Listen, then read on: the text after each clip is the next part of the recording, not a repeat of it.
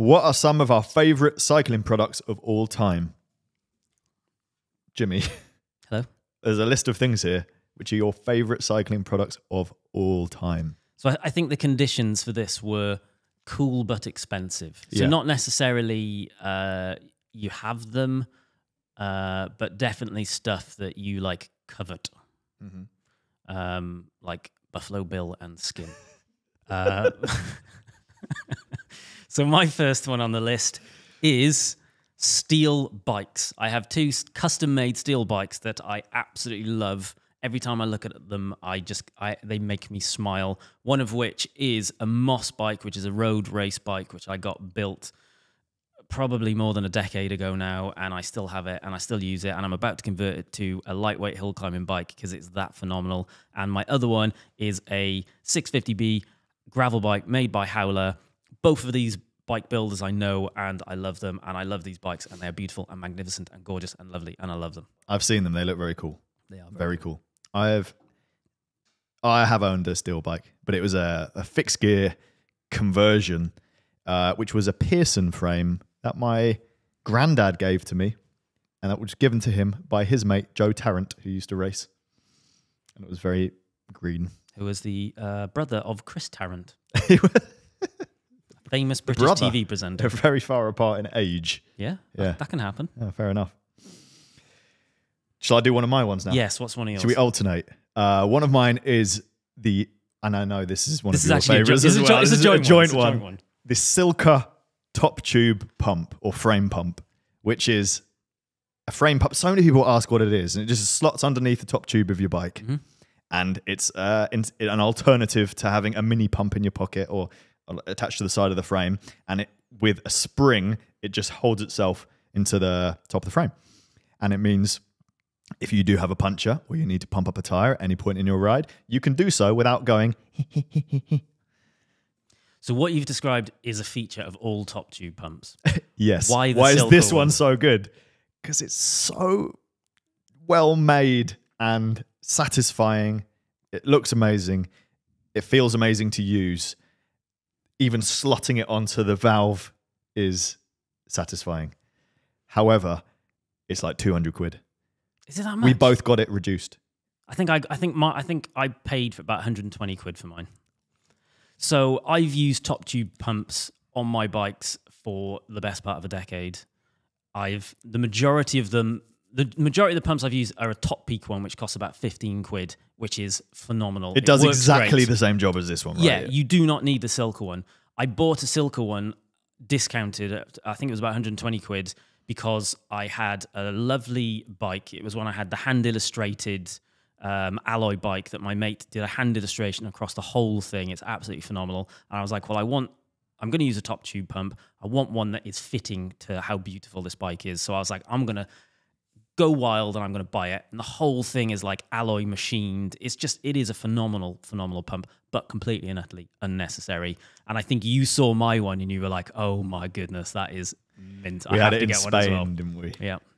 Uh, this is so good. So they retail for 172 pounds. Wow. We both bought them, reduced from Sigma Sports, Yep. 120 quid. Yeah, I remember it was out of stock for age, and you were like, "France, it's back in stock! It's back in stock! Get it, get it!" I was like, "Yes!" Bought it straight away. They come in a few different lengths. Uh, you need to measure your frame, make sure you get the right one. So if you see one super cheap and then it's a weird size, just make sure it's going to fit. I tell you what's Beautiful. extra bougie. When we, me and Jimmy used to go to Bespoke, which is like the steel bike Yeah. festival, and there's lots there with um, custom paint jobs. And I've seen one that then get the Silca pump made in the same custom paint as the steel Oh, bike. yeah. Ooh, very nice. I would like to customize my frame in some way, uh, frame pump in some way. I guess, I guess because it's, do it's metal, you can paint it. Yeah. Yeah. and it looks so sleek. It looks like it's part of the bike. I Mm-hmm. think that's the appeal of them, isn't it? That they're so sort of slender, doesn't stick out. Yeah, it's beautiful. Yep. completely unnecessary, but absolutely beautiful. On to the next thing. Uh, this is one of mine. It is Chris King headsets. I've installed many of these, but never owned one. I have one on shop. my steel moss bike. Um, it's again, it's just like it's it's overindulgent. It's unnecessary. It's very well made. they just look amazing. I just love them. Actually, I used to have a coffee machine at home, and Emily bought me a tamper. So a tamper is what you like press the coffee grinds into the basket, I think it's called, for the coffee machine. And Emily bought me for my birthday once a Chris King headset tamper. So they basically like machined a head. Oh, the little. Yeah, so it looks like the top. Oh, the, it's uh, so yeah, good. It's so good. I just I just love them. They're like again like you know you don't need it, but they're beautiful. They've got loads of different colors. I'm all whenever I'm like specking a bike, I'm always thinking like, well, does a does like an orange Chris King headset work on this, or does this work? And then you can never get stock, so then you inevitably just get a cheap one instead. But they're amazing. I love them. Fair play. My next thing is, and so this is what back when I used to work at a bike shop, we'd always have these on our laptop screens when we were doing no work, and we'd be looking at bikes, obviously. And one of the brands was English Cycles, and they predominantly make these. Into, well, the what pictures I've seen are these TT bikes, which are completely like slammed. They're beautiful, and you're going to have to just look at pictures of them. If you just type in English cycles TT bikes, I'm sure the positions on them, as soon as you put yourself in a good position for going fast, they won't look as good. However, they're completely slammed, like the to- in like the handlebars are in line with the top tube, completely straight, and they just look mint. I nearly bought one of these. Did you? when I so when I bought my Moss bike about a decade ago, I was a triathlete and I was looking to buy a custom steel bike that was for racing, i.e., triathlon, and I very nearly bought an English Cycles, but then I determined that I was very unlikely to use a TT bike enough, so I ended up getting a road bike with clip-on extensions, and later on I bought a carbon TT bike. But yeah, they are absolutely awesome. I love them. I found something that we should get. I love the idea of a steel TT bike. It's so. Um, How about this one? Do you know? I think I've seen that in person. I've just brought up a picture for the listeners at home of a tandem TT bike made by English Cycles. We could do an event on that. I could pair you with someone more appropriate for you to do an event on that. No, because I I, enjoy your commentary. I think you should. I think you Hmm. should do it. This is how you're going to win the gravel world champs. Aero chain set. Well, this is how I'm going to win the gravel world champs. Hmm. I mean, it's totally impractical, isn't it? Even the normal TT bikes, because if you're going for aero, you're not gonna. It's not. It's not that aero. Probably isn't that. Aero. I reckon it's pretty aero. I think the the main the main difference with something like that is the bike is going to be comfortable. the, the correct geometry and therefore have less bike. It's going to have as little bike as it needs to be, if you know what I mean. Yeah, It's but less bike. with aero, more sometimes more bike is better. That's why those horrible I think- triathlon bikes are just like sails. I'm pretty certain that nothing is faster than something. the next, so I'm going to give my next one. Um, ENVE Forks, back in the day when they used to have the lovely branding down the side. I'm again biased because I have one on my Moss bike. Uh, in fact, ENVE finishing kits. I've like I've wanted an ENVE finishing kit forever, but then you kind of go like, right, so there's the stem, there's the bars, there's there's the seat post, and you price it up, and it's like a thousand pounds, and you're like, uh, I think I've exa- exaggerated that slightly, but not by that much. Um, it's just too expensive. I could not justify buying it as much as I want it. But I do have a fork because I got it cheap when I bought my Moss bike. I love it. It looks great. My next one is all Danger Holm bikes. So there's a guy called Gustav who strips, paints, and rebuilds and fully customizes Scott bikes. So I think he has a deal with Scott. He's a Scott ambassador. He's got ambassador. Yeah, yeah. Um, so I think they give him the frames. He does these insane things to them and creates the most beautiful Scott bikes you will ever see. And he did a road bike. It's mainly mountain bike stuff. He did his first ever road bike, which was a Scott foil, and it looks amazing. The mountain bikes, however, is what th- is my favorite bit. And he'll just put the most bonkers parts on. They're all match. He's an artist.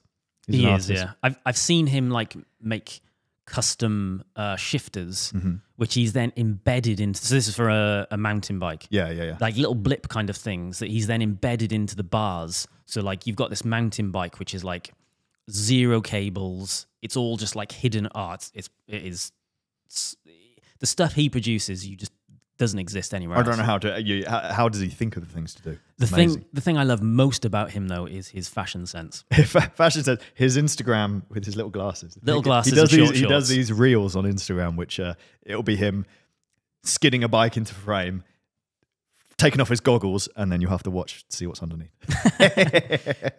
Check him out. Short He's so shorts, good. massive quads, great beard. He looks like he's like Scandinavian or something rather. Great rider as well. I love him. Yeah. He's great. Yeah, he's pretty handy. Good, excellent choice, Francis. Well done. Thank you, thank you. But Not- can you imagine? You uh, you probably can never get one. Does he sell the bikes afterwards? What happens? I'm pretty sure he strips them down again and then he rebuilds them. Probably. He just keeps going, changing stuff, bit new thing, you know. It's like us. He probably wants to keep as many bikes in the studio as possible, so he can then pull from it and make different things. What's your next one? Uh, I remember seeing this a number of years ago. I think it was for um, is his name Enzo Enzo Colnago, Colnago Colnago. The guy that founded Colnago had an 18 carat gold plated bike made for his birthday, and I think it ended up going to like Pope John Paul II or something or other. And it is just like the the the most beautiful classic steel, well, gold uh, bike, all just finished in like traditional styles. I love it. It's absolutely beautiful. He- gave it to the Pope. I think there was something to do with the Pope. I don't know. That's a very Pope-like thing, isn't it? Just He- sitting on a, a golden throne With his gold like, bike. with his gold bike, Yeah. his gold hat. Uh, Ernesto is his name. Ernesto, that's it. Ernesto. Um, it's absolutely beautiful. It's it's it's it was priced at forty eight thousand pounds. Um, so it's not going to be something I'm going to run out and buy. hmm But if I won the lottery, like the jackpot, not just like forty eight thousand pounds, I would buy it and put it on a wall. You wouldn't you wouldn't ride it to work. No, Well, you wouldn't have you wouldn't work. I wouldn't work. Yes, correct. And if I was going to get to work, it would be in my gold plated helicopter, not my gold plated bike. Jimmy, you must have been a magpie in a previous life. You love a shiny thing. You're going for a lot of shiny things in your list. Uh, My my last and definitely not least and not shiny thing disappointed. is it the Amazon shoe dryer. I've brought I've put this in so many videos in the past. It's a thing that dry- okay, it probably doesn't matter for anyone who doesn't live in England, but at least 60% of my rides I end up with wet shoes. So, a shoe dryer which won't melt your shoes, which is what happens if you put them on a radiator and generally the radiator's on too hot. A lot of shoe brands say you're not supposed to dry your shoes with it, and, and, and except for just airing them and just letting them dry themselves. The shoe dryer is so so good, and it's like twenty quid on Amazon, so it's actually not expensive. This list is meant to be cool but expensive. I'm not sure Yeah, whether is it's cool. cool. or expensive, Cool. but we'll, we'll are cool. allow it. I guess it's it's expensive for shoe drying, I guess, Yes, I guess so. But it is it is disappointing that that's on cool but expensive list when I've got a forty eight thousand pound gold plated bike. I'd rather have a shoe dryer than that bike. It adds more to my life. If you have 10 pairs of shoes and you get 10 of them, then that would be indulgent, Mm-hmm. expensive. Because then I can go ride in the next day and not do that thing where you got wet shoes and you go, oh, Or buy or get the forty eight thousand pound bike, sell it, and buy a pair of shoes for every day. Very wasteful. that is wasteful. Emily, what would you have? Oh, um, I could only think of one thing. I like all of your things. I could only think of one thing. And as soon as I mentioned it, when we were putting this list together, Jimmy said he also thought of it at the same time as the most uncool thing. So make of it what you will.